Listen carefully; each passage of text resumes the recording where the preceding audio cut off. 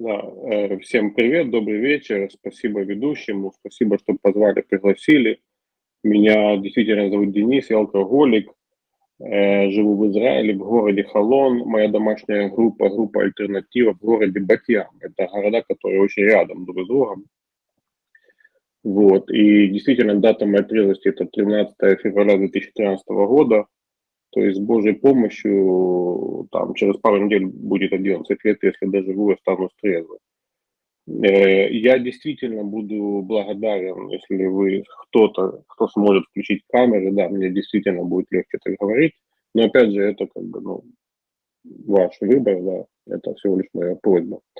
Значит, я начну чуть-чуть о себе, и потом я попытаюсь о теме поделиться по теме, да, как я это понимаю сегодня, как я понимаю, что такое алкоголизм. Значит, э, мне 47 лет, я живу в Израиле, родился в Украине. Э, пить начал с 2000, 2000, господи, пить начал с 14 лет примерно. Э, сразу понравилось, сразу стал пить так часто, как мог. Это сразу стало очень важным элементом э, социальной жизни, то есть общение вот этих вот посиделок вечерних под гитару там и дворовые все вот эти вот истории подростковые, как это принято. Э, я очень быстро э, понял, что алкоголь дает мне что-то, чего мне не хватало всю жизнь, да, то есть я довольно быстро в детстве почувствовал дискомфорт. То есть э, с того момента, как я могу себя вспомнить, да, там какое-то там подростковое возраст, там, или раннее, может быть, ну, не очень раннее детство, я часто испытывал дискомфорт. Мне было страшно, тревожно, мне было э, непонятно, что происходит. Мне трудно было присоединиться к тому, что там, как люди веселятся, как отдыхают. И вот выпивая, я очень Э, легко находил общий язык, я и ну, как только я начал как бы пить, я сразу понял, что вот это тот самый недостающий элемент. То есть мне алкоголь значительно облегчил жизнь, так скажем, и, на длительном, на каком-то длительном периоде моей жизни это очень круто для меня работало. То есть э, все, все свои значимые, скажем так, события в жизни я провел так или иначе выпивши. Да? То есть я, я пил уже начиная со старших классов школы. Э, ну, это было вот там 90-е годы в Украине, то есть алкоголь был некачественный, нужно было его там доставать, находить. Э, мы там ходили, покупали самогон на рынке, меняли на сахар. Я воровал сахар дома у мамы, то есть там, кто, опять же, кто из вас понимает, что такое 90-е годы, в Украине, там, ну или в Советском Союзе бывшем, да, то есть это ну, такая не очень богатая жизнь, мягко говоря, да, и ну, в каждой семье там, ну, у нас, по крайней мере, был мешок сахара, и вот я ходил там, отсыпал, и мы тут тащили, меняли на самогон там на рынке, потом напивались этим. Вот. Э, но опять же, это все казалось очень веселым, прикольным, очень правильным образом жизни, очень таким Э, задорным, так скажем, да, потому что действительно выпивание и общение вокруг выпивания доставляло очень много радости, действительно доставляло очень много э, комфорта какого-то, да, да, и тебе тоже кот привет. Э, я чуть позднее скажу, что я думаю об этом по поводу вот этого дискомфорта, который у меня был в детстве. Я, потому что это важно, это является ключом для понимания того, что является алкоголизм. Потому что алкоголизм и вообще выпивание алкоголя или других каких-то препаратов, которые, возможно, изменяют сознание, начинается именно с дискомфорта, начинается именно с того, что мне нехорошо в жизни, да, и я вдруг нахожу для себя вот что-то такое, что эту жизнь меняет. Но я тоже к этому вернусь. Значит, э, я закончил вуз, я учился в Киеве, закончил, правда, с красным дипломом, но я все равно мы бухали почти все, эти, все это время. Э, я познакомился со своей женой на свадьбе сильно пьяный. Я даже э, немножко шумит, шумят, ребята, микрофоны. Извините. О, спасибо. Значит, я, я познакомился с женой со своей на свадьбе, я был настолько пьян, что я, ну, только через какое-то время, не так, я расскажу эту интересную историю, она важна для понимания моего, моего как бы, алкоголизма. Я прихожу на свадьбу, со мной знакомится девушка, я пью, мы прекрасно проводим время. Я прихожу на следующий день на свадьбу. Есть такая история, там, когда у свадьбы несколько дней. И придя на свадьбу на следующий день, у кого-то все еще звук, я понимаю, что я не знаю ее имени, я не помню, как она выглядит. То есть вот я иду на свадьбу к той женщине, к той девушке, которая мне понравилась, я очень хочу ее видеть, но я был настолько пьян вчера, что я не помню ни как она выглядит, ни как ее зовут. Вот. И я рассчитываю только на то, что я приду, а она ко мне первая подойдет. Потому что по-другому я вообще не знаю, как ее, как ее определить в толпе, кто там находится. И так и получилось. Она ко мне подошла. Привет, как дела? И вот мы с ней 26 лет вместе живем. Вот. Э, вот, вот это, с одной стороны, показывает уровень ответственности, с которой я как бы принимал решения и, и, и вел свою, так скажем, свою жизнь. С другой стороны, это показывает э, то, то, то, количество алкоголя, которое я выпивал, даже, казалось бы, в хороших как бы, да, состояниях. Ну, в хороших имеется в виду в радостных, комфортных состояниях. Вот. Э, спасибо, друзья, всем тем, кто включил, включил камеры, прямо круто. Совсем другое ощущение. Вот. Э, в 99 году мы приехали в Израиль, э, и мой, мой, мой алкоголь, э, в смысле, мой алкоголизм, мое выпивание перешло совсем на другой уровень. Это можно по-разному как бы это объяснять. Ну, как бы основное объяснение я алкоголик, да, это я сегодня понимаю. Я алкоголик, потому я пил как мог. Но в целом я почувствовал себя гораздо более раскрепощенным. Чужая страна, мало знакомых, меня, в принципе, довольно сдерживала вот эта социальная история насчет того, что там пьяный встретил соседку, соседка сказала маме, мама утром делает голову, там, да, или там какие-то коллеги, или там ученики, соученики, там, учителя, то есть, ну, в одном городе всегда есть где, там, спалиться, так скажем, да, а в чужую страну приехал, с утра пьяный ходишь, и типа всем пофиг. Ну, как бы никто тебя не знает, ты никого не знаешь. Вот, и э, я очень, как бы, я интенсивно этим пользовался, я реально пил, начинал спить с утра, в течение дня пил на работе, носил с собой там бутылку коньяка на работу, пил там шкафчики, тут как-то очень это все э, почему-то сходило мне с рук постоянно. Э, значит, я примерно, как-то я считал, около 10 лет проездил с банкой пива в подстаканнике. В машине имеется в виду, да, то есть опять же, очень либеральные. То есть, опять, ну, вот Россия, Украина, то, что я понимаю, там очень бдительно относятся, ГАИ останавливают, нюхают. И меня, кстати, меня в одно из посещений Украины, когда я ездил домой там, в 2008 или каком-то году, я сел за руль с запахом, вот, и меня остановили, лишили прав очень быстро, да. А здесь, в Израиле, я проездил, там уже все эти годы я ездил, я пил, я ездил за рулем, я с банкой пива по стаканнике ездил, это как-то никого не волновало. Вот. Я понимаю сегодня, что это просто чудо, что я не сделал никакой тяжелой аварии значимой, что я себя не покалечил, людей не покалечил. И, конечно же, это, например, мешало моей жене, у нас были скандалы постоянно вокруг этого. Я мог там с банкой пива в подстаканнике и двое детей сзади в детских креслах там куда-то отправиться. Она меня сильно ругала за это, там умоляла хотя бы детей с собой не бери. Я все время говорил, не переживай, все под контролем, все нормально, да. Вот. И опять же, сегодня я говорю спасибо Господи, что действительно никакой беды не наделал. Я не наделал никакой беды, такой, чтобы там, ну, были там царапины на машинах, там снесенное зеркало пару раз, но нет ничего более значительного. Я это очень четко осознал, когда в, в полтора или в два года трезвости нас пригласили спикерить в тюрьму, и мы приехали в тюрьму, там какое-то, ну, в израильская тюрьма, и там какое-то отделение для людей, совершивших преступления, связанные с алкоголем и наркотиками, там какой-то такой отдел был специальный. Вот, и я вот рассказываю тоже свою историю, рассказываю про то, что я пил, ездил за рулем и все такое.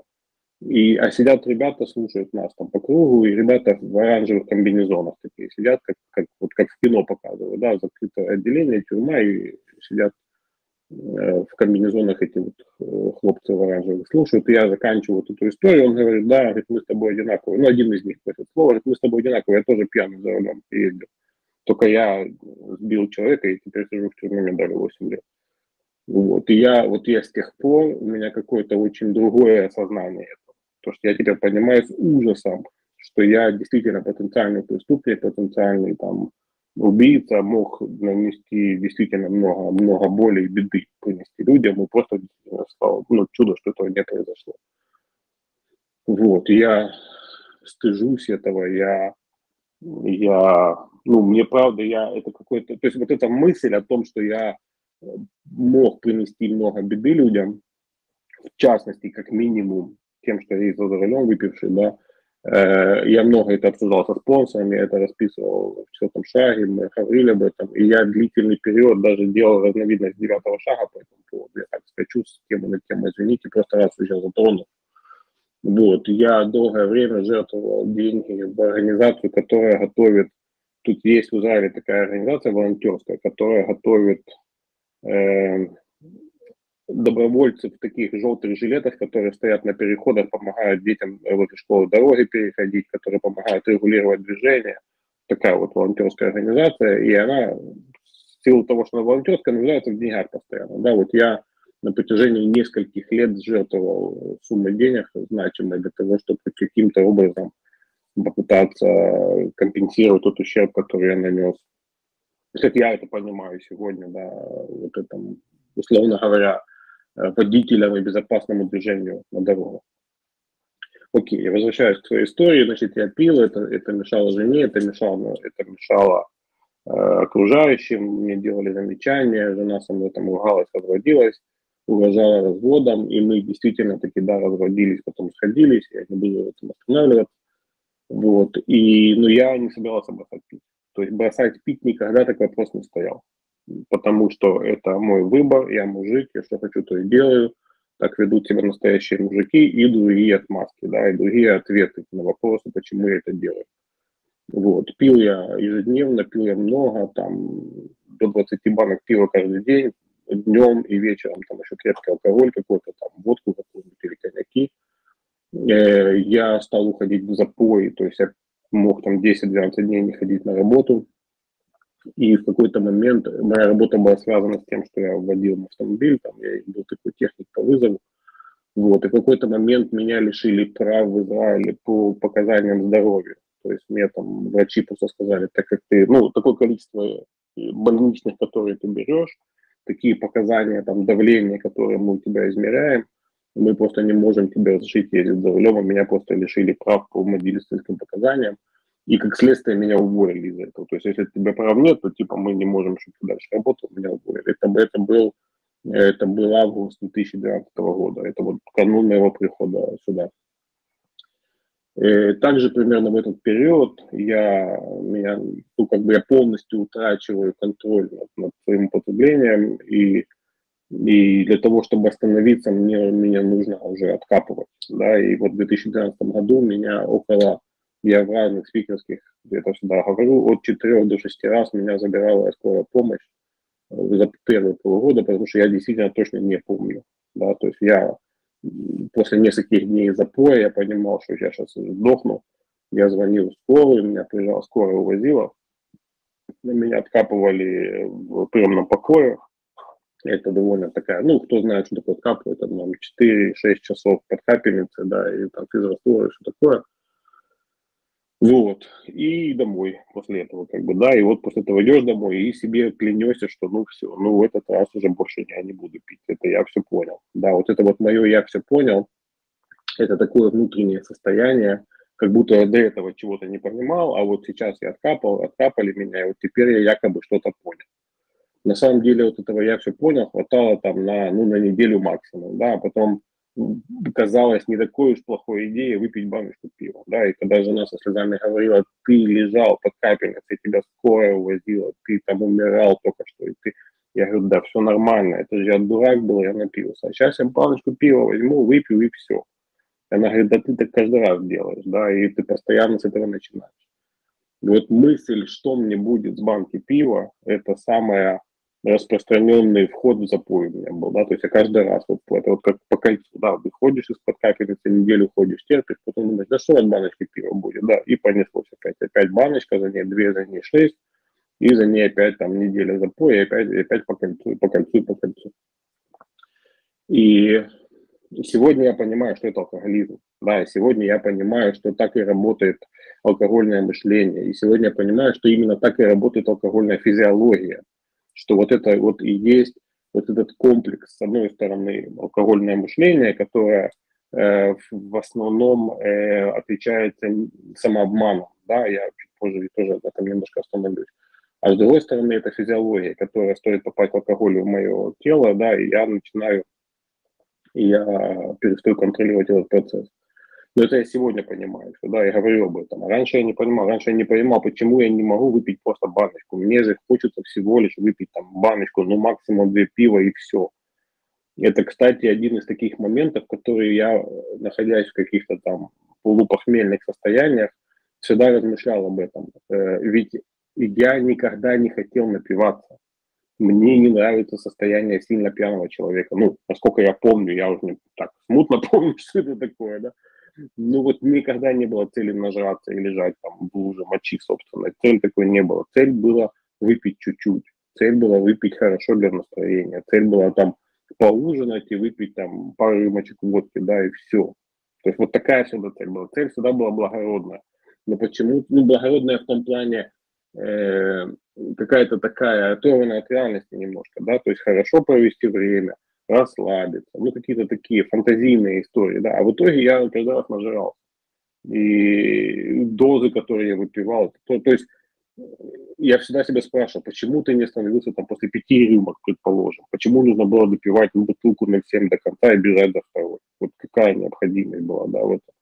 И главное, что люди меня окружающие тоже меня это спрашивали. Жена говорит, как ты можешь пить такие дозы, как ты там водку, там, литровую бутылку выпиваешь. Я, а я не мог объяснить этого. Потому что я там головой понимаю, что не нужен литр водки, нужно чуть-чуть.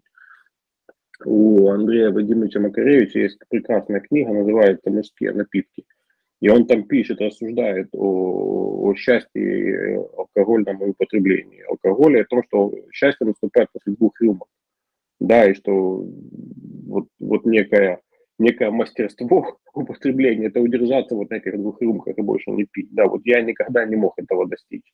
Мне, мне никогда этого не было достаточно. Мне всегда казалось, что нужно еще чуть-чуть. Вот это еще чуть-чуть давно было после рюмки и после литра. Даже после литра водки, там уже блюющий в туалете, но все равно чуть-чуть не хватает. Кажется, вот, вот сейчас еще глоточек, я станет на свои места. И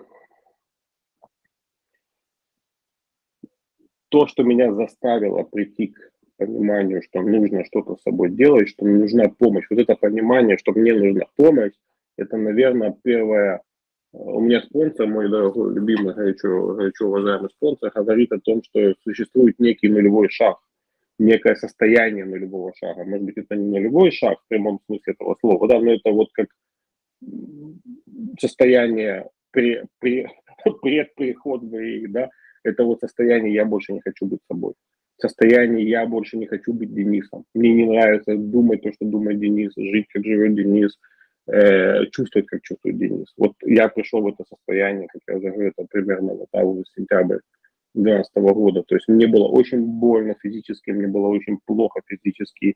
У меня там кучу диагнозов мне наставили, у меня там 30% ожирения печени, которая уже не функционирует, у меня ужасная там химия крови, у меня отвратительное состояние сердца и сосудов. Я к тому времени уже 5 лет пью таблетки от давления, у меня сахарный диабет, и я уже, то есть я, я настолько себя, это мне было 36 лет, я себя чувствовал настолько плохо физически и настолько вот ежедневно, что мне просто казалось, что это какое-то изысканное издевательство надо мной, что вот так хреново себя чувствовать. Даже более того, я в какой-то момент был уверен, что я себя... То есть мне так тяжело пить, потому что я в принципе больной человек. Что если бы я был бы здоровый человек физически, то есть там вот бы не, не, не диабет и не ожирение печени, то я бы просто пил бы, все было нормально. А так, а так я так плохо себя чувствую, потому что я просто боль, ну, болею, типа, да, а не потому что я алкоголик.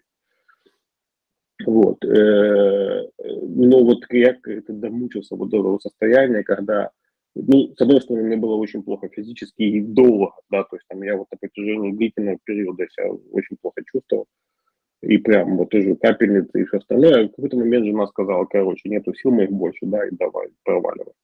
И либо ты уходишь, лечишь себя где-то там и возвращаешься в каком-то там тайном, секретном месте, где лечат алкоголиков, и тогда, может быть, еще поживем вместе, или, ну, типа, нафиг из моей жизни. И вот это вот нафиг из моей жизни, это было то самое последнее, что как бы э, держало меня до состояния, что окей, я, я, я похоже сам не могу. Я, кстати, вот это не сказал, на протяжении всей своей алкогольной карьеры я был уверен, что я смогу остановиться, как только захочу. То есть я пью, мне нравится, мне кайфово, но как только это станет мешать в моей жизни, я остановлюсь. Да? И что бы ни происходило в моей жизни, это все еще было недостаточно значимо. То есть я брошу пить, если захочу, если это будет мне мешать. Окей. Ты там поцарапал машину. Не, не, недостаточно значимо. Ты попал под капельницу первый раз, второй раз, третий, пятый, шестой. Нет, это еще недостаточно. То есть все, что происходило в моей жизни, достаточно значимо и тяжелое, все еще казалось недостаточно важным, чтобы бросить пить. И когда врач говорит, чувак, у тебя ожирение печени, предциррозное состояние. Я говорю, м-м, окей, но предциррозное это еще не цирроз, то есть еще можно чуть побухать. Ну, то есть вот такой ход мысли примерно. То есть вместо того, чтобы убегать из этого и кричать «помогите», я продолжал рассказывать себе, почему я все еще могу продолжать пить. Э, опять же, сегодня я понимаю, что это алкогольное мышление. Я сегодня понимаю, что так работает голова алкоголика. Да? Так вот, пришел я в анонимные алкоголики, э, ничего не понял с первого раза, что-то там, какую-то книжку читают, за руки берутся, молятся, там что-то такое. Я вообще не понял, как это помогает не пить, но у меня особо выбора не было, да, то есть я понимал, что либо я что-то с этим, ну, хотя бы попробую это что-то с этим делать, иначе, ну, я вообще, ну, как бы, я не понимал, что мне с этим всем делать. И я не сказал такой момент, что я по образованию психолог, я учился вот в Киевском университете, и, собственно, я знал, что лечения алкоголизму нет. Да, и, и это одна из причин, которые я даже не сунулся в официальную никакую медицину, потому что я понимал, что зашивки всякие, там всякие гипнозы и вся остальная вот вот фигня, это просто действительно, ну, не для, не для меня. Просто знал, что это не рабочая история.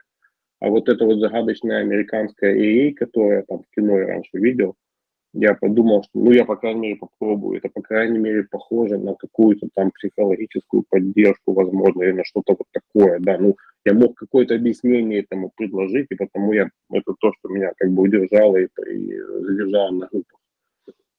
Значит, как я уже сказал, я не понял, как это работает. Какие-то чтения каких-то листиков, какие-то высказывания, я, ну, окей, ну, я буду, пока похожу, типа, посмотрю, да. Вот, и каким-то удивительным образом я умудрился остаться трезвым там неделю, потом вторую, и потом третью, потом месяц. И я вдруг, это был первый месяц за очень длительный период, то есть я пил ежедневно. Если я не пью там 2-3 дня, это прям большие промежутки для меня. Да, тут я там неделю не пью, две не пью, месяц не пью. И я вдруг начал, я вдруг, ну, какая-то надежда у меня появилась, что э, на самом деле, ну, выход есть, да, что-то вот, мне может что-то помочь. И я где-то месяца три или четыре насобирал трезвости, потом наступил Новый год, то есть я вот пришел в сентябрь, да, где-то август-сентябрь, и в новогоднюю ночь мне было очень тяжело, и я не сорвался в новогоднюю ночь, но я сорвался там через пару недель после этого. То есть я саму, сам Новый год я как-то перетерпел, там, ну, уже не знаю как, а потом я ушел тяжелый такой запой для себя, ну, мне очень плохо было в этом запое, и я вот из него вынырнул, я объявил дату трезвости 13 февраля, вот где-то в середине февраля я из него с большим трудом вынырнул. Я, кстати сказать, я называю дату трезвости 13 февраля, но я не уверен, что это было 13 февраля. Это могло бы быть и 15 или там 12, скажем, да. То есть я в какой-то момент оглянулся назад и такой, блин, а когда же это было, когда же я пришел? Ну, то есть я не смог вспомнить точно, когда я там очнулся для, для себя. Я так выбрал где-то дату между, между этими числами, когда я примерно пришел. Вот. И с тех пор я в ИИ, да, я делаю шаги, делал шаги, делаю их на регулярной основе. У меня спонсор все это время. Спонсоры разные. У меня сегодня пятый спонсор. Последний мой пятый спонсор. Мы с ним уже около шести лет. До этого они у меня менялись. Я служу на всяких разных э, должностях, на всяких разных служениях. Естественно, начинал там с того, что чай покупал и, и чашки мыл. Вот, и последнее мое служение я был председателем э, центр обслуживания и Израиля, да, это я там прослужил 6 лет, и вот в этом году я, как бы, по ротации меня сменили. Вот, то есть я действительно очень верю в сообщество анонимных алкоголиков, я очень верю в ту помощь, которую оно предлагает. Я очень хочу, чтобы это сообщество развивалось и помогало людям, и я очень много как бы, усилий к этому прикладываю. Вот. Я очень благодарен этому, кстати сказать, этому сообществу. И одна из вещей, которые я повторяю на своей спикерке, это то, что у меня есть двое детей. Да, и судя по всему, у них как минимум 50% генетической вероятности быть алкоголиками. Они там, им сейчас ну, 19 и 22 детям моим. Я очень не хочу, чтобы они стали алкоголиками, но если так получится, я очень хочу, чтобы сообщество анонимных алкоголиков было в Израиле или там, где они будут в тот момент, и они получили помощь, как я ее получил. Потому что удивительным образом 11 лет назад в городе Батьям была русскоязычная группа алкоголиков, одна из трех на тот момент групп в Израиле. Я не думаю, или я не знаю, как бы я жил, если бы в тот момент не было группы на. Я, ну, как бы, может быть, мы сегодня с вами бы не разговаривали. Вот, поэтому я очень рад и благодарен, что группа была. И она, кстати, есть. Вот эта вот группа альтернатива, это моя домашняя группа, на которой я хожу 11 лет. Это одна и та же группа в одном и том же месте. Вот я на нее все время хожу.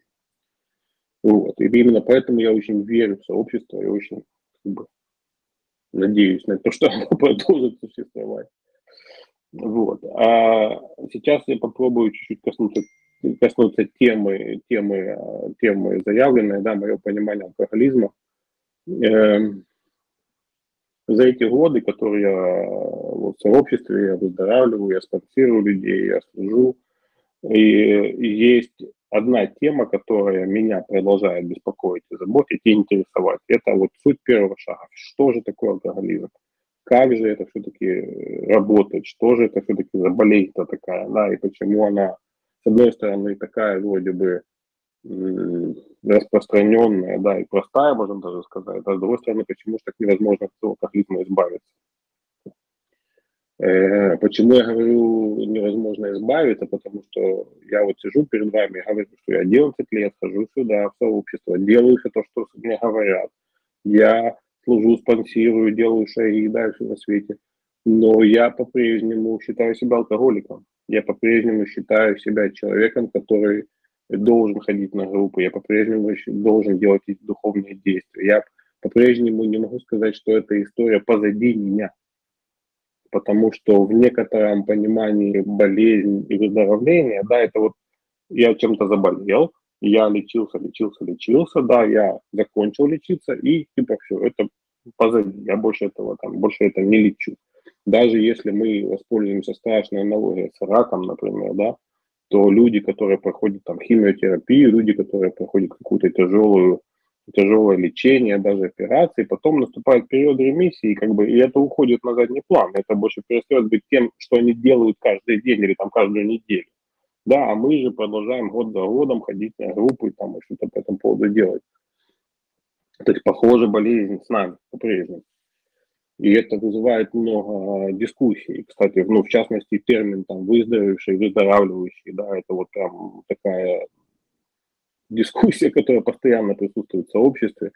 И буквально на последней нашей встрече мы со спонсором раз в неделю мы созваниваемся. И вот последняя моя встреча со спонсором была посвящена вот этому выздоровевший, выздоравливающий. Какой же все-таки я алкоголик, выздоровевший да, или выздоравливающий. И спонсор показал мне, что в книге на английском языке использовано слово выздоровевший, recovered, да, написано 16 раз в книге, использовано слово выздоровевший, да. И мы посмотрели в словаре о том, что выздоровевший означает не имеющий э, активных симптомов.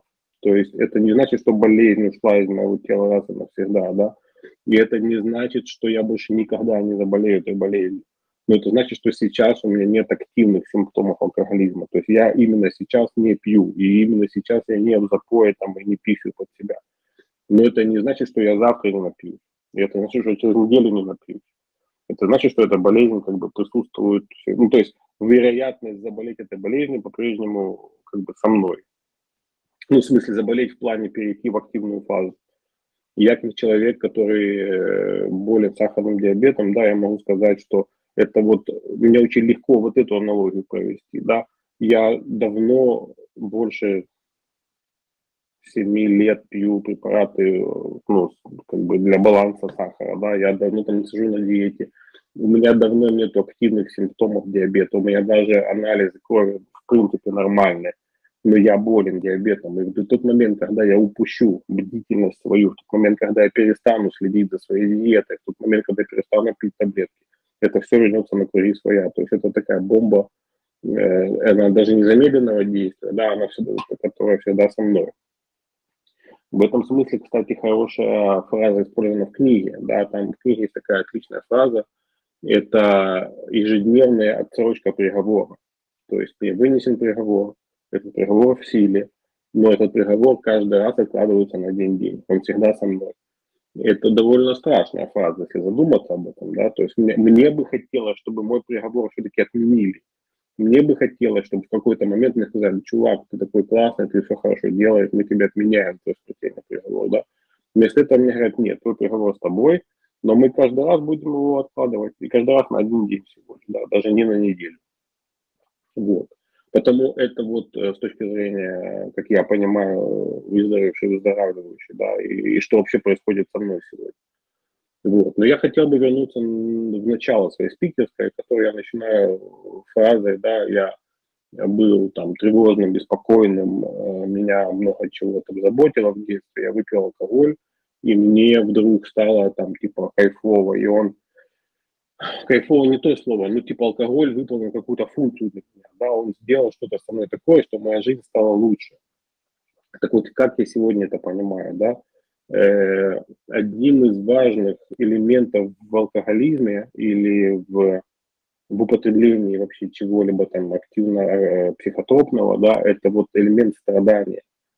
Э, большинство из нас стали пить так, как мы пили, именно имея какой-то элемент страдания в жизни, будь то связанное с э, жизненными событиями, с разводами, с увольнениями, там, с какими-то другими историями, будь то связанное, там, не знаю, с ковидом или, там, господи, ну, еще другие, тысячи других причин.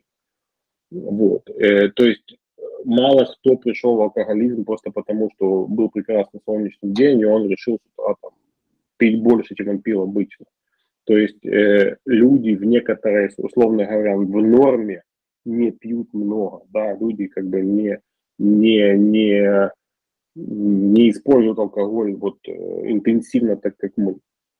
Как это понимаю я сегодня? Скорее всего, вот это состояние, опять же, я сейчас говорю о себе, и все, что я говорю, это лично мой опыт, потому, пожалуйста, делай, ну, вот через, мое, через мой опыт я это говорю, да, вот это вот состояние беспокойства, состояние переживания в детстве, состояние неподключенности. Скорее всего, я в детстве, э, как и, наверное, многие, сталкивался с э, каким-то расстройством. Да, возможно, это было расстройство тревожности, возможно, это было какие-то там детские травмы, возможно, еще чего-то. Но я был вот такой тревожный, переживательный ребенок. И по большому счету, возможно, если бы я пошел к психиатру, там, к детскому, да, в 91 году, а не с пацанами пить водку в парк, возможно, мне бы дали таблетки, я бы как бы вылечил свое тревожное расстройство и не стал бы алкоголиком. Я предполагаю, я не знаю, да.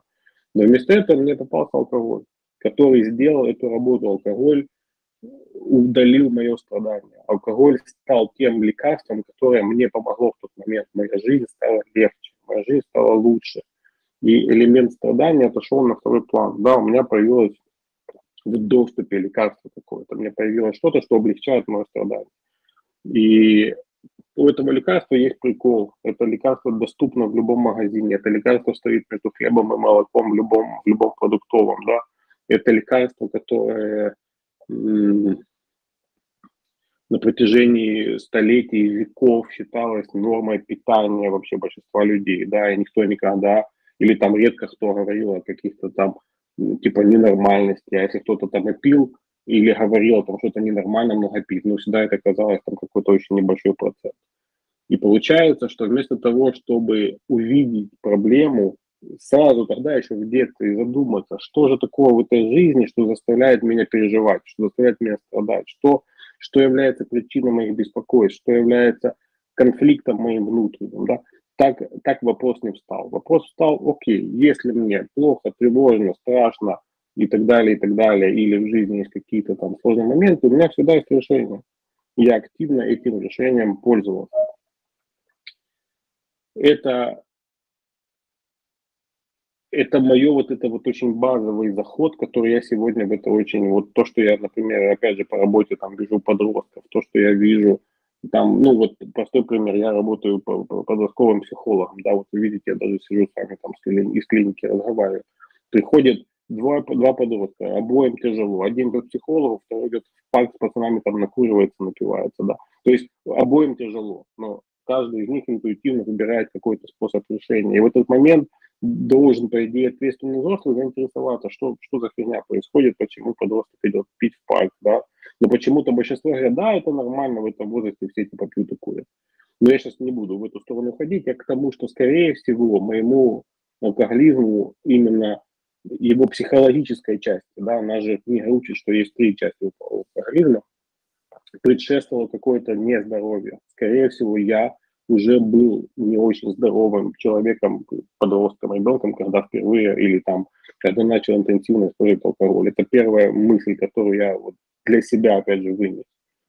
Вторая очень важная мысль – это все-таки, что в моем теле присутствовало так называемое состояние входа или нулевое состояние, которое уже было изменено. Э, нам книга рассказывает про аллергию на алкоголь. Нам книга пишет про физический компонент называет это словом аллергия на алкоголь. Я, честно говоря, не нашел нигде в медицинской литературе да, описания этого, э, скажем так, ну, в научной литературе медицинской нет описания алкоголь, аллергии на алкоголь. Но то, что пишет доктор Силквард, и то, что мы сегодня читаем и знаем о себе, это очень выглядит логично, да, о том, что мы Э, в какой-то момент э, на физическом уровне не можем отказаться от употребления. То есть мы пьем, и нам нужно добавить. То есть наша реакция на алкоголь ненормальна. Нормальная реакция на 200 грамм алкоголя сначала подъем настроения, эйфория, а потом спад настроения и, и усталость, и сон. Да? Это нормальная реакция на алкоголь. Ненормальная реакция на алкоголь – это хотеть добавить еще. Да, вот это вот хотеть добавить еще – это ненормальная реакция на алкоголь которую доктор Силков предложил назвать аллергией на алкоголь. Э, ну и мы с ним, предположим, согласимся да, с, с термином. Э,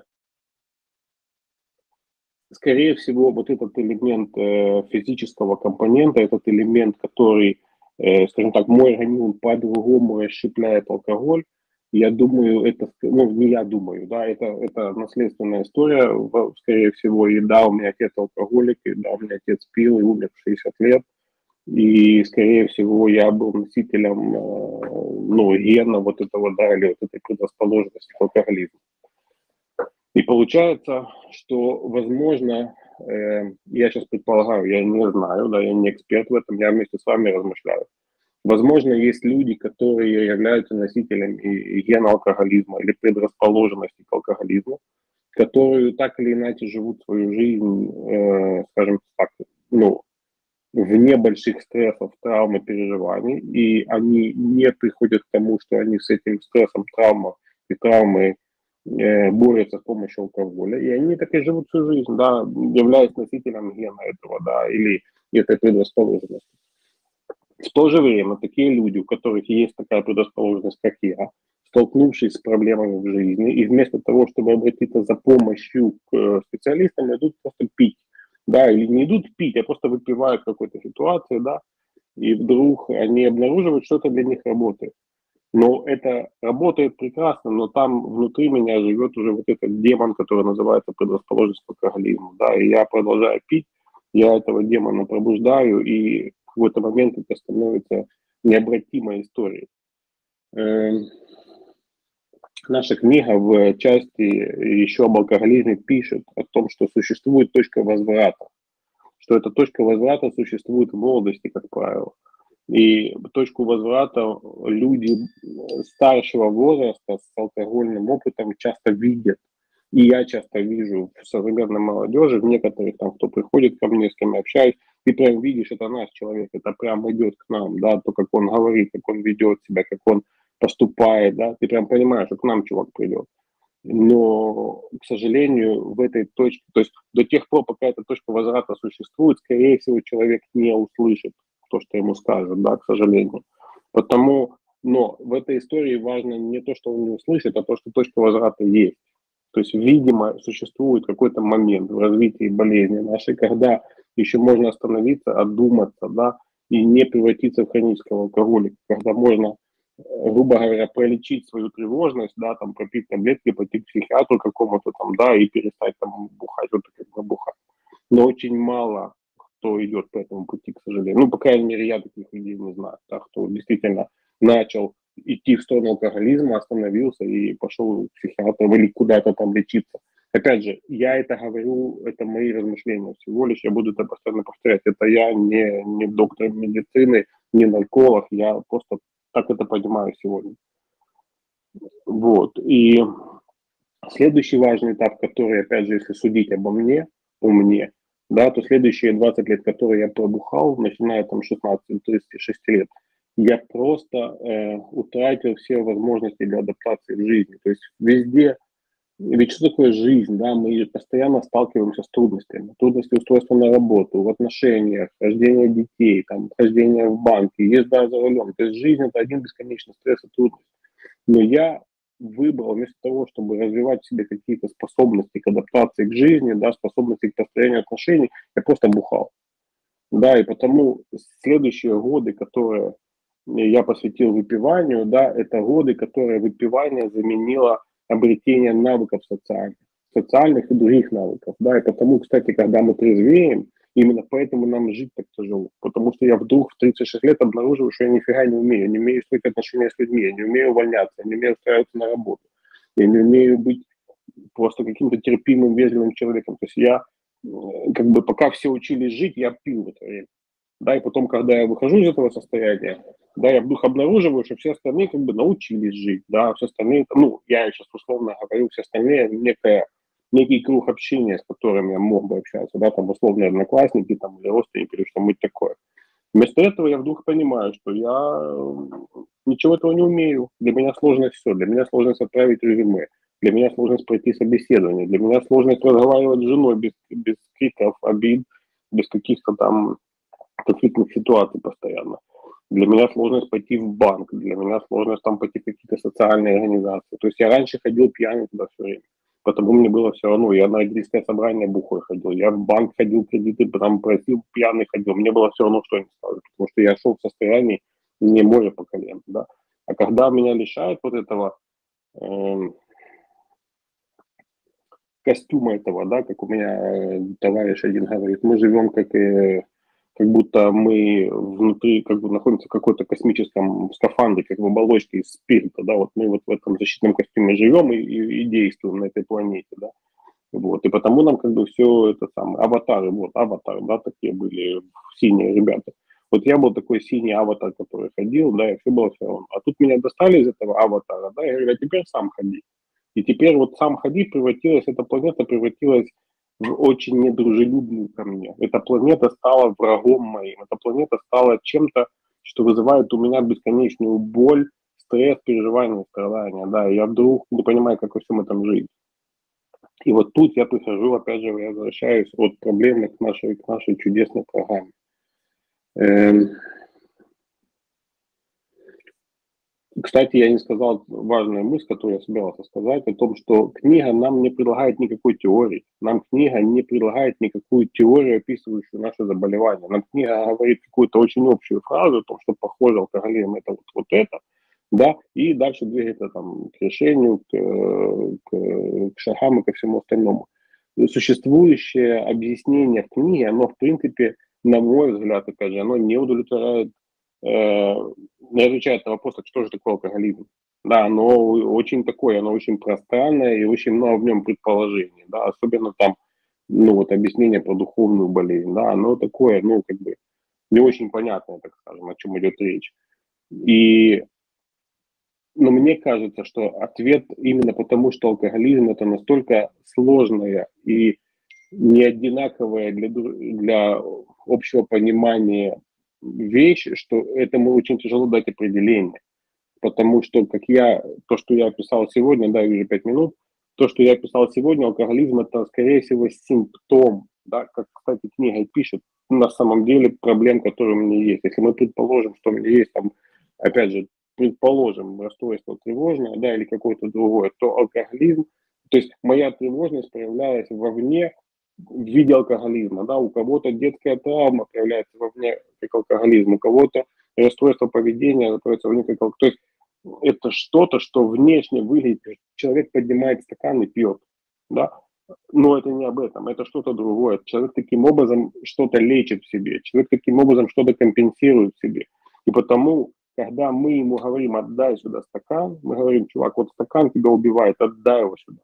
Мы должны ему предложить какое-то э, решение или лечение, какое вам слово больше нравится, для той самой проблемы, которая по-прежнему есть.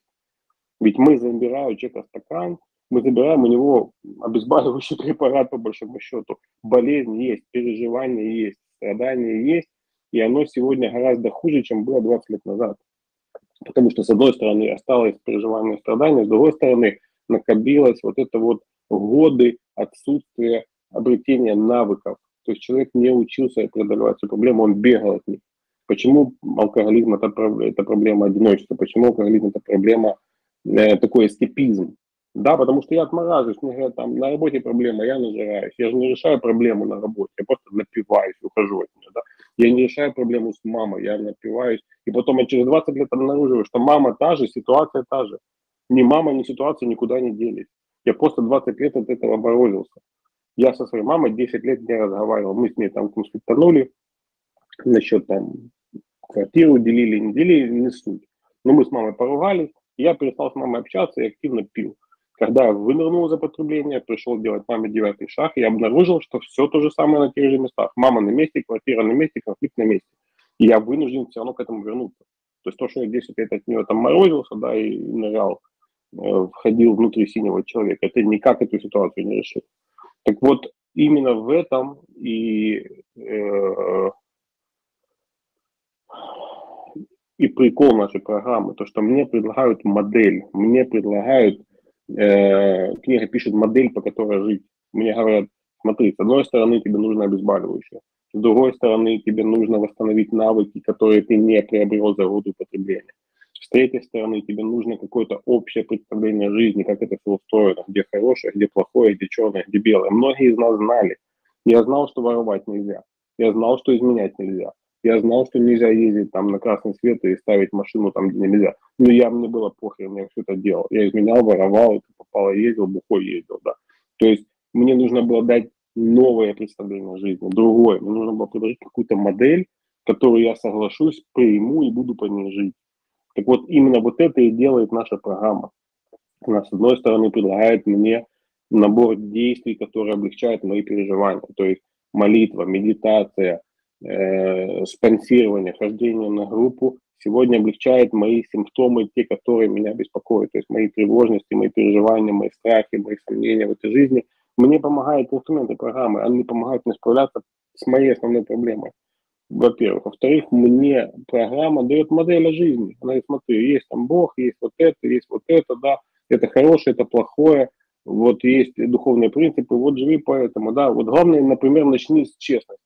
Вот духовный принцип, честность, попробуй жить на этом принципе для начала, да. Я верю, я эту модель принимаю, я живу с этой моделью, да, ну как бы для начала. То есть мне предлагает программа второй элемент, это вот модель, по которой жить, да. И третий, оно мне дает э, смысл существования, потому что один из вещей, которые мы утрачиваем на протяжении употребления всего, мы вообще не понимаем, зачем мы живем. То есть я когда вынырнул, один из самых ужасных пониманий было, что я никто и звать меня никак. То есть я живу какую-то чужую непонятную жизнь в бесконечной боли, в отравлении, в страдании, никому не нужный, одинокий черт какой-то, да, и зачем жить непонятно. То есть и одно из, возможно, вам знакомо, когда начинаешь трезветь, потом говоришь, а нафига мне трезвость? Нафига мне жизнь трезвым, если это жизнь пустая, это одна дыра, это одна задница просто большая, да. И мне программа говорит, мы тебе дадим смысл жизни. Возможно, этот смысл жизни странным тебе покажется, но мы тебе предлагаем помогать другим такая себе, такое, такая себе цель в жизни, да. И вот если получается эту идею принять, это прям офигенная работа. Вот, друзья, Спасибо, что послушали. Я смотрю на часы, похоже, я уложился. Я прошу прощения, я очень волновался все это время. Да, я надеюсь, это было не сильно вам мешало мое волнение. Вот. Э, если есть какие-то вопросы, спросите меня, пожалуйста. Спасибо, что послушали. Спасибо тем, кто включил камеры. Мне правда очень помогло. Спасибо, друзья. Спасибо. Денис, огромное тебе спасибо. Спасибо за честную спикерскую, замечательную. Если волновался ты, то я должен быть уже где-то, я не знаю, где. На каких-то своих. Вот.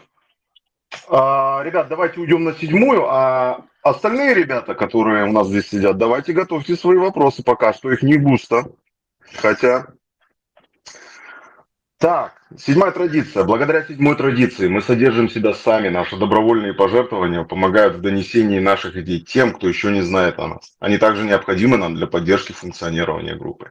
Когда же мы выказываем щедрость, опуская деньги в шляпу, это служит признаком нашей благодарности за проявленное к нам милосердие и свидетельством острого желания поделиться тем, что мы обрели со все еще страдающими алкоголиками. Седьмая традиция не касается новичков и гостей нашей группы. Так, пара вопросов у нас уже есть. Я буду по одному, хотя они от одного человека, я задам им один за другим. То есть сначала ты ответишь, а потом уже пойдет другой вопрос. Спасибо. А, вопрос от Натальи. А, спасибо за спикерскую. Какие действия по программе ты делаешь на ежедневной основе? Прекрасный вопрос. Значит, э, я буду говорить о сегодняшнем дне, потому что это менялось для меня на протяжении, скажем так, всех этих 11 лет. Э, то, что делаю сегодня, я вот именно сегодня, да, ну вот в эти дни, скажем так, именно сегодня. Значит, э, я начинаю свой день э, с утренней, утренней части 11 шага, который включает в себя следующие вещи. Я просыпаюсь, и я сразу вот открыл глаза, я первое, что делаю, молюсь. Я сразу говорю, Господи, помоги мне проснуться, помоги мне подняться. Мне очень тяжело вставать по утрам. То есть именно физически подняться из кровати мне очень тяжело. Поэтому я прошу для этого Бога силы. Значит, после этого я встаю, там туалет, включаю чайник туда-сюда, и после этого я возвращаюсь к я возвращаюсь к своим утренним ритуалам. Я делаю небольшое упражнение, скажем так, несколько элементов йоги. Я тоже для сегодня отношу это к, к 11 шагу, несколько, несколько асан йоги. После этого я читаю рассылку ежедневную, и после этого я медитирую. Да, то есть у меня сегодня стоит таймер на 6 минут, вот 6 минут я 6 минут медитации, после этого молитва, и я выхожу, выхожу как бы по дню, двигаюсь по дню. Значит, в течение дня у меня стоит э, таймер, я иногда его включаю, иногда нет, но меня я обязательно останавливаюсь в течение дня минимум один или два раза. И если, например, это там я еду за рулем или я куда-то иду, то есть я буквально останавливаюсь и там, короткая пауза, вдохнул, выдохнул, помолился, да, Господи, ты руководитель моей жизни, двигаюсь дальше. Э, если можно назвать сегодня элементами программы ежедневной, то это созвоны, как бы у меня обязательно кто-то звонит из-под спонсоров, я кого-то набираю, да, но это как бы, ну, как бы такой дополнительный, ну, не дополнительный, но как бы это для меня обязательный важный элемент. Я не вижу как, как прям действия по программе, но оно присутствует в моей жизни. Вот. И вечерний одиннадцатый шаг, он э, бывает разный. Вечерний шаг, э, вечерняя часть 11 шага мне тяжело дается по-прежнему. Я часто валюсь в постель, не сделав его. Или я там как-то сокращенно его делаю. Я были годы, когда я его писал по там, списке, буквально расписывал. Были годы, когда я книжку садился, читал. Ну, в смысле, читал 11 шаг из книги. То есть я делал разные действия, пытаясь улучшить вечерний 11 шаг. Но он всегда мне тяжело дается. Вот именно вечерняя часть всегда тяжело. Сегодня я стараюсь просто вечером э, остановиться на какую-то там пару минут и ответить на вопросы 11 шага просто про себя. Там, Господи, покажи мне, был ли я нечестен сегодня? Пауза. Покажи мне, был ли я, э, думал ли я только о себе? Пауза. Был ли я эгоистичен? Там, пауза, да? Покажи мне, как мне исправить мои ошибки. И после этого отправляюсь как бы спать. Это вот то, что как это выглядит сегодня, да. Но, как я и сказал, это были, ну, у этого была динамика. Вот сегодня это вот так. Спасибо. Я, есть какой-то фон, друзья, то ли музыка какая-то играет где-то, я у кого-то где-то, извините. Ну, я пока не слышу. Я тоже слышу фон, но я не вижу включенных микрофонов. Я выключил микрофон.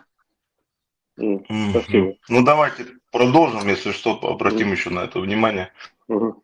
А, так, так, так, так, так. Едем дальше. От того же человека вопрос от Натальи. А, вопрос, были ли откаты дно в трезвости? Если да, как выходил?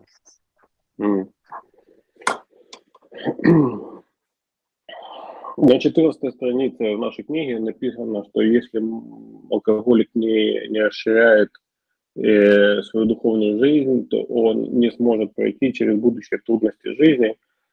По-русски написано, а на, на английском написано, он не сможет пройти через low spot, низ, низкие точки или низины по-английски написано. Вот я это понимаю как кризисы. И видимо, кризисы – это неотъемлемая часть любой жизни, в том числе трезвости. Я думаю, все люди в любых ситуациях э, жизненных, будь то алкоголики или алкоголики, сталкиваются с кризисом. И, естественно, кризисы эти были у меня. И, естественно, эти кризисы были связаны э, с трезвостью. Значит, я в трезвости разводился с женой, разъезжался, потом мы сходили, все. И у меня были отношения другие, мне с женой связанные, меня там очень грубо бросали в этих отношениях. Я, в этих, я много раз терял много денег, то есть там какие-то суммы, которые я утрачивал. Я более семи раз менял работу в трезвости. То есть это как бы с одной стороны, я к чему? Я к тому, что были объективные обстоятельства трудные в жизни, которые, естественно, сказывались на на, на моей трезвости. Ну вот сейчас у нас там, кто за новостями следит, у нас тяжелая там, ну, война в Израиле идет, да, то есть очень страшно, очень, очень страшно было. Я, как я пережил октябрь трезвый, я просто удивляюсь, было очень тяжело действительно. Вот, и, и все еще тяжело по-прежнему, да, и ну не так просто. Но это кризисы, связанные с объективными обстоятельствами. А есть кризисы, когда просто тяжело. Когда открываешь утром глаза и понимаешь, пипец, сегодня я из дома не выйду, не могу просто. Нет ресурса, нет сил. Да, и такие ситуации в моей жизни бывали раньше часто. Раньше раз в месяц, раньше я говорю, там, скажем, пять лет назад, да, уже будучи там 3-4 года трезвый, пять лет трезвый, я мог раз в месяц там просто два дня выходных взять, там, типа, больничные, просто остаться дома, закрыть все окна, и просто я лежу в постели, выйти не могу. То есть просто вот дыра, кроличья нора, да, такая вот в темноте, в тишине и в пустоте. И, и каждый раз из этого приходится выкарабкиваться какими-то силами.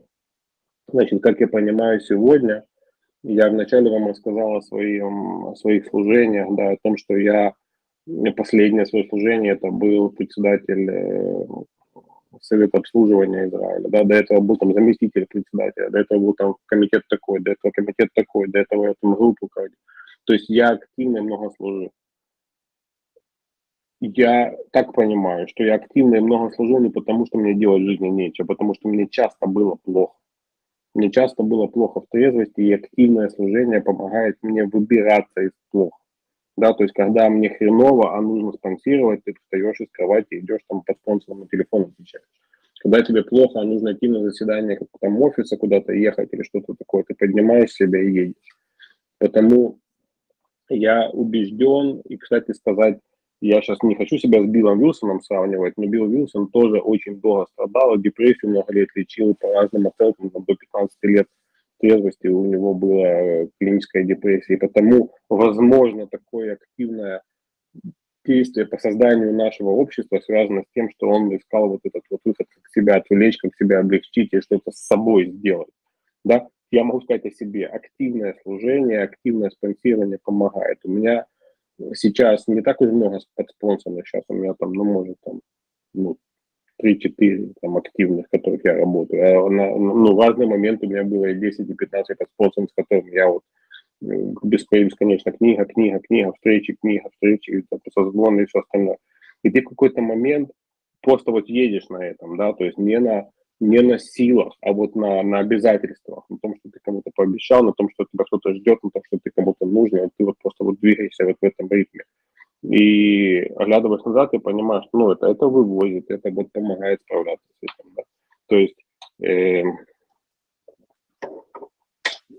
вопрос, так, были ли откаты, если мы подним, понимаем под этим кризисы и тяжелые моменты, то да, часто, много, и слава богу, что в последнее время ну, ощутимо меньше.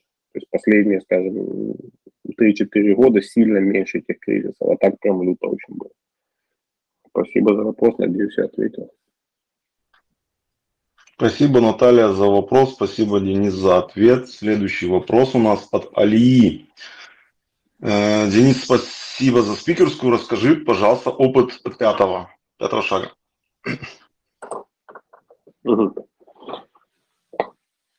Значит, мой первый пятый шаг, который я сдавал э, спонсору, я сдавал его по скайпу, мой спонсор первый был по скайпу. Это был э, длинный пятый шаг, мы созвонились в 8 утра, и целый день, это была суббота, мы целый день просидели в этом скайпе с перерывами, то есть мы там два часа разговариваем, отключаемся, там подписали это самое, созвонились и дальше продолжаем. То есть такой был марафон, и первая моя инвентаризация мне было, по-моему, что-то там около 60 человек, если я правильно помню. И вот мы подробно читали инвентаризацию, обсуждали, говорили об этом, и в итоге это закончилось шестым-седьмым шагом, то есть пятый шаг закончился через 8 часов сделанным шестым и седьмым шагом. Значит, э, я в среднем делаю инвентаризацию в год или, скажем, там в полтора, потому я делаю пятый шаг вот раз в год, скажем так. Мои инвентаризации сегодня небольшие, они сегодня там 2-3 человека, а чаще ситуации или даже такая вот история, например, когда была корона, вот сильная, скажем так, пандемия, то у меня был такой пункт инвентаризации – корона. Да? То есть это не человек и не общий принцип. Но все, что с этим связано, я расписал, все свои страхи, переживания, где моя сторона, где мой эгоизм, где моя нечестность, это все расписывалось и все остальное. Вот. И потому сегодня пятый шаг у меня сильно короче. Сегодня мне хватает около часа сделать пятый шаг. Мне это то, что делаю я. Значит, э, мы со спонсором, я расписываю вот эту инвентаризацию, мы со спонсором созваниваемся и делаем инвентаризацию. Сегодня спонсор тоже живет как бы за границей, потому по скайпу. Ну, по скайпу, по видео. Вот. Э, последние три пятых шага я сдавал мульти-пятый шаг. Это когда сдаешь пятый шаг спонсору и еще одному человеку. То есть я сижу, сидит два человека меня слушают, один из них мой спонсор, а второй просто впереди идущий, который я там знаю уважаю и он тоже сидит, тебя слушает. Э, это такой опыт интересный, потому что со спонсором устанавливаются довольно, скажем так, со временем доверительные отношения, ты как бы уже знаешь, ну, типа, да что там уже скажет, да, ну, послушай, ты послушай. А когда есть еще один человек, это прям, ну, заставляет мобилизироваться, заставляет э, быть более честным, заставляет быть более, скажем так, ну, это более требовательное к себе отношение – вот. Но это практика, которую вот мы со спонсором, с еще одним человеком выбрали, вот мы втроем сдаем мультипятый шаг такой. Вот. Если я принимаю пятый шаг, и если пятый шаг, э, как бы, ну, у нового человека, скажем так, который за час не, не расскажешь, то я сегодня, к сожалению, не могу себе позволить в силу своей занятости там 8 часов сидеть на связи то мы делаем, ну, мы как бы режем это по часовыми встречами. То есть мы вот сегодня сидим, час разговариваем, следующая встреча там, через 2-3 дня. Созваниваем еще раз, да, еще раз продолжаем. То есть это вот такими кусочками. Это не идеальная история. естественно, лучше сели, помолились и рассказали полностью пятый шаг. Но, к сожалению, просто в современном как бы, реальности это, ну, как бы, очень тяжело найти вот такое прям окно кстати, у меня несколько пятых шагов у меня было таких, которых я сдавал действительно в реале. Мы садились там, буквально ехали в помещение группы, садились, там зажигали свечку, доставали книжки и там сидели несколько часов разговаривали. Вот. Но опять же, это скорее исключение, чем правило, к сожалению. Да, то есть сегодня, сегодня очень редко я могу найти вот возможность только времени этому уделить. Вот. Это по поводу пятого шага. Если я что-то упустил, спросите меня еще раз. Ну, то есть это, это разговор, это откровенный дли, длинный разговор, основанный на инвентаризации четвертого шага. Ну, как-то вот так. Спасибо. Спасибо, да. Замечательно. Спасибо за вопрос. Алия, спасибо за ответ, Денис. Так, следующий вопрос от Олега. Вопрос, как ты решил вопрос с тревожными расстройством и обидами на родителей? Хороший вопрос. Я не знаю, если у меня тревожное расстройство, я так думаю. Я предполагаю, что я часто тревожусь, я часто переживаю, я часто волнуюсь. Я 11 лет трезвый, я работаю психологом, у меня взрослые дети, я взрослый дядя. Я каждое утро просыпаюсь с чувством переживания, меня, меня тошнит от волнений. Мне тяжело идти в незнакомое место, мне тяжело идти на встречи. То есть я, я, книга об этом говорит, книга говорит о страхе.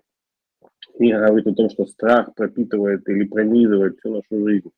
Э, возможно, это страх, возможно, это тревога, возможно, это тревожность, я не знаю.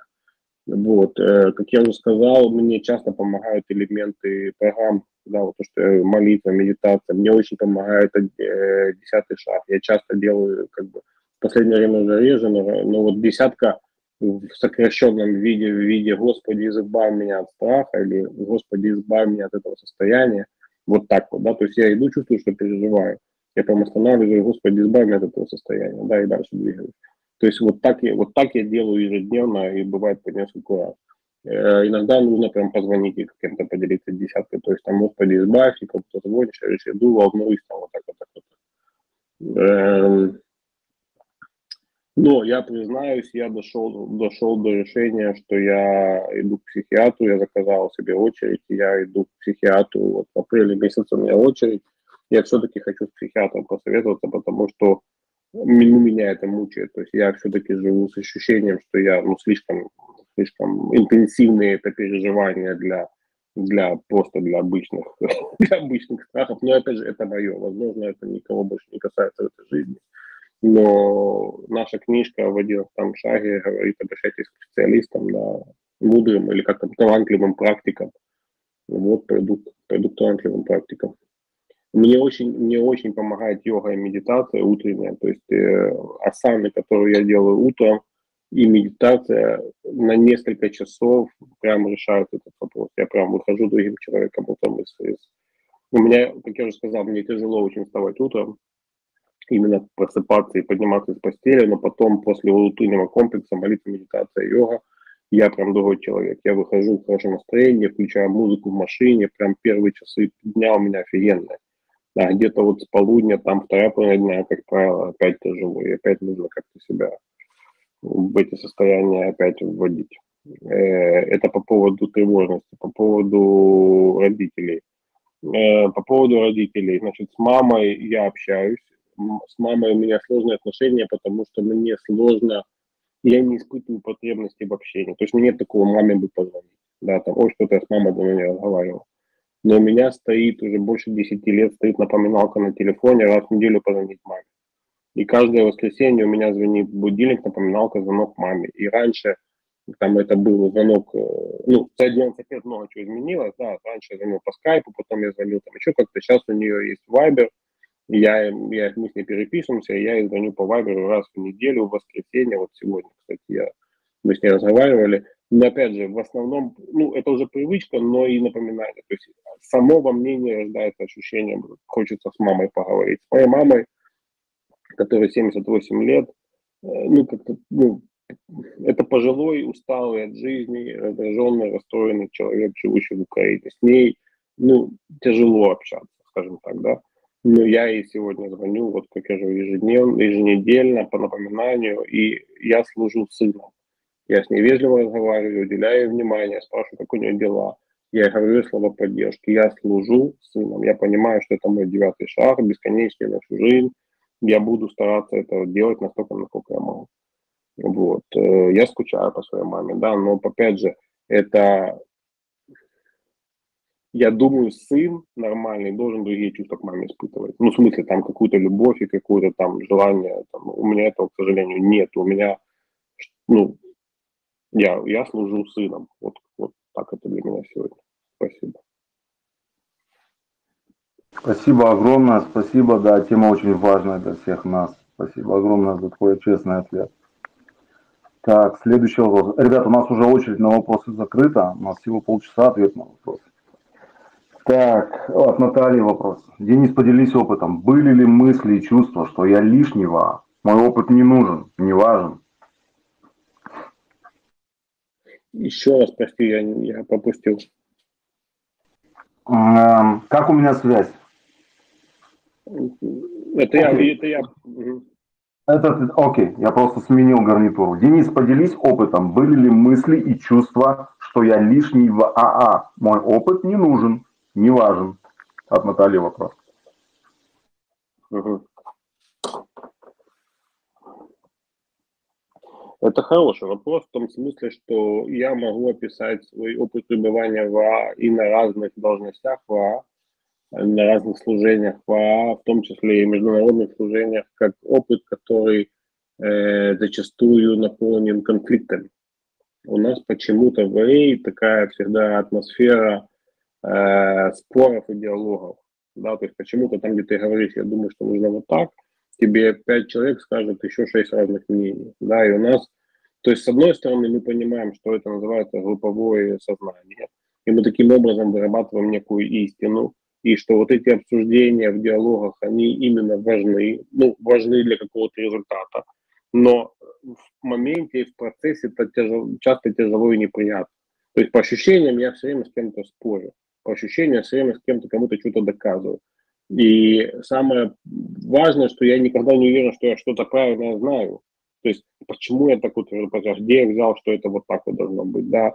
И, а у нас же, ну, вы, наверное, как бы сталкиваетесь, у нас, когда начинают спорить, начинают там цитатами тыкать какими-то там, приводят какие-то там ссылки на каких-то там спикеров, а вот Гриша спикерская сказал, что это там не вот так, а вот так, и ты думаешь, блин, ну я что буду сейчас Гриша спорить, да, ну, я к примеру говорю, да. И потому есть такое ощущение, что действительно нужно постоянно кому-то что-то доказывать. Нужно постоянно с кем-то что-то спорить. Нужно постоянно с кем-то обсуждать какие-то вещи. Да, нужно ну, обсуждать это даже не то слово, это именно вот дискутировать и пробивать какие-то вещи. И, конечно, как следствие возникает ощущение, да ну нафиг это нужно, видимо, мой опыт не нужен. Или, видимо, мои понимания не, не очень какие-то правильные, или раз вы знаете лучше, так делайте, как, как вы это понимаете, да.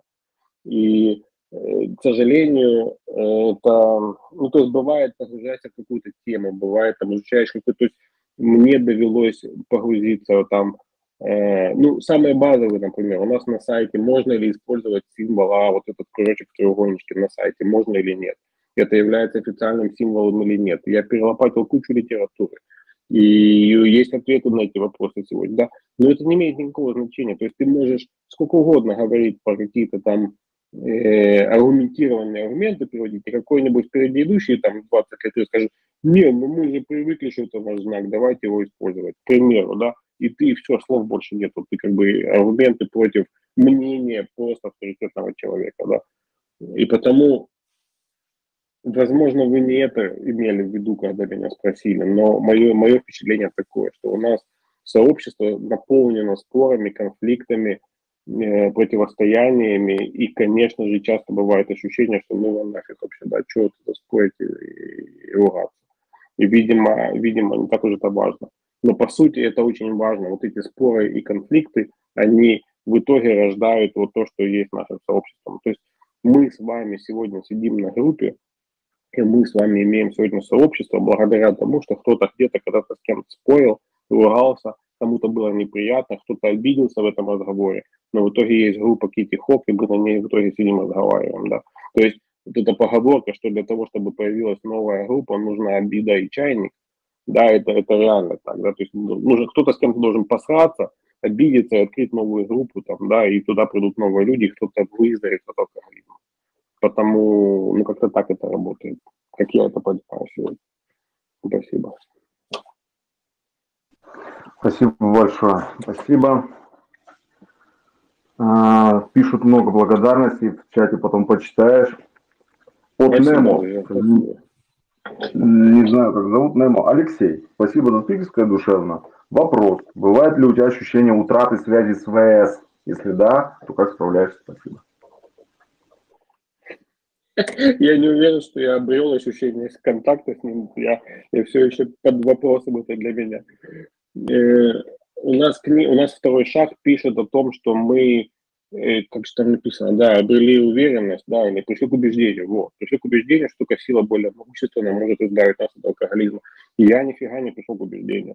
Я не могу сказать, что я твердо убежден, что Бог есть, и что Он избавит меня от алкоголизма. Я надеюсь, что Он есть. И я надеюсь, что Он избавит меня от алкоголизма.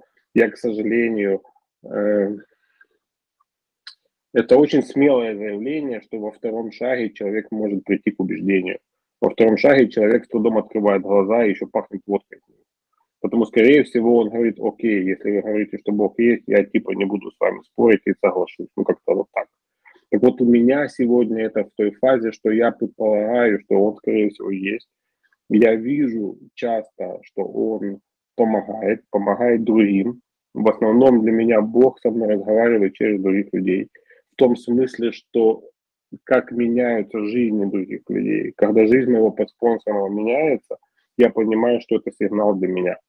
Когда я вижу вокруг себя проявление Бога, когда мой подспонсорный начинает встречаться с девушкой, когда мой подспонсорный покупает автомобиль, устраивается на хорошую работу, он поправляет его здоровье, я понимаю, что Бог со мной говорит, Денис, со мной говорит, смотри, как я могу, смотри, какие чудеса я могу делать, да, вот это вот такое мощное, да, это ответ для меня. Мы же часто как бы мы с Богом пытаемся строить диалог. Мы обращаемся к Богу, да, мы говорим словами и, и как-то интуитивно ждем, что Он словами ответит. А Он, похоже, отвечает нам какими-то вот историями жизни, которые мы наблюдаем. То есть мне, Денису, показывают каждый раз маленькое чудо. Мне говорят, смотри, вот видишь, человек, он умирал от алкоголизма, а теперь он красивый, побритый, на хорошей машине, работает на хорошей работе. И ты был частью этого процесса, ты ему книжку читал, помнишь? Вот, смотри, для тебя. Да, это вот маленькое чудо. И таким образом моя вера в Бога укрепляется. То есть я начинаю сильнее и сильнее верить в то, что действительно это все работает. Потому что на моей жизни тяжело это все следить. То есть кто-то на моей жизни это видит. Мой спонсор смотрит на меня и думает, вот было чучело, да, а превратился в человека. Но я этого не вижу по себе. Я по себе как был страдающий, в смысле страдающий, недовольный, я был недоволен своей жизнью, да, я был недоволен своей внешностью, своей там, финансовым положением. Мне всегда менялось, то есть как мы, то есть я так и остался. Может быть, мой уровень недовольства сегодня чуть ниже, чем был раньше, да. Но в целом я как был врачащий внутри себя, так и остался врачащим. Но кому-то со стороны кто-то смотрит и говорит, господи, красота какая, да, как, как все-таки круто с Денисом получилось, посмотрите. Да, так вот, вот так это работает, да, мы, мы, мы видим это на примерах других людей я в это верю вот так вот, да, что это как каждый раз маленькое персональное чудо для меня лично, да. Так вот, сказать, что у меня есть сегодня какое-то ощущение контакта, я бы не сказал. Я бы не сказал, что я прям хожу и прям чувствую ощущение, там, спину меня подталкивает или под руку держит.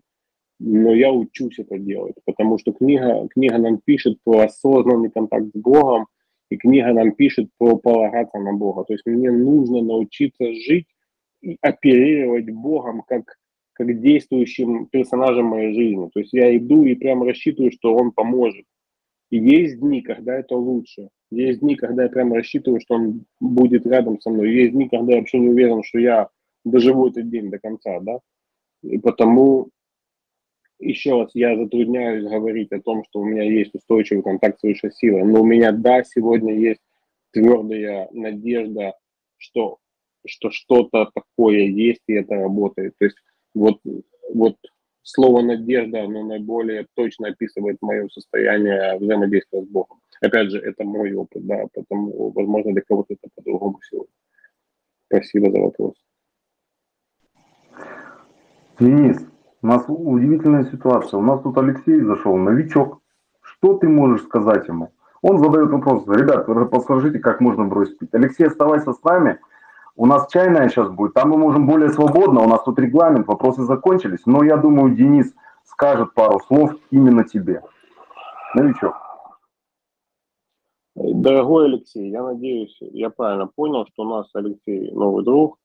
Значит, дорогой Алексей, если ты к нам пришел, скорее всего, ты устал жить ту жизнь, которую ты живешь. Что-то в этой жизни тебе не нравится, скорее всего, и, возможно, часть этого не нравится, это то, что ты, наверное, возможно, много пьешь, и потом себя часто плохо чувствуешь по этому поводу. Э, многие из находящихся в этой комнате нашли для себя ответы как с этим быть. Вот я на сегодняшний день, как я уже сказал, я больше 10 лет трезвый, хотя э, пил каждый день, да, и очень сильно страдал. Э, простого ответа нет.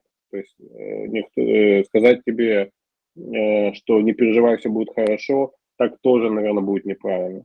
Но я искренне тебе желаю, дай этому шанс. Вот просто дай этому шанс, приди еще раз, а потом приди еще раз. А потом через какое-то время сделай сам для себя вывод, как ты себя чувствуешь с нами, как тебе без нас, как тебе разговоры, которые здесь происходят, и попробуй сделать выбор. Ты хочешь попробовать сделать то, что мы тут, о чем мы говорим, да, или нет?